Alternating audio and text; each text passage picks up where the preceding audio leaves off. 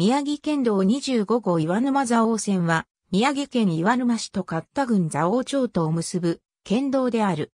岩沼市省の原から柴田、村田領町を経由し、東北自動車道村田インターチェンジ付近を経て、蔵王町向山とを結ぶ主要地方道である。村田町の宮城県道31号交点から宮城県道、山形県道12号交点までの区間は仙台方面から宮城佐王や東型温泉方面へ向かう観光路線の顔を見せる。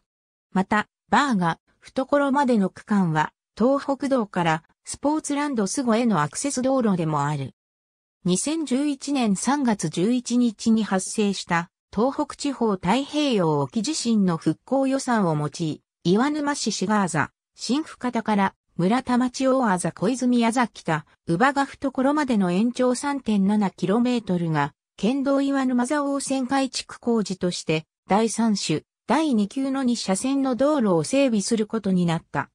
これは、道幅が細かった峠道を改良し、途中に、シガバーが懐、トンネルを新設する工事であり、2012年度より順次事業化され、2016年6月4日に着工式を取り行った。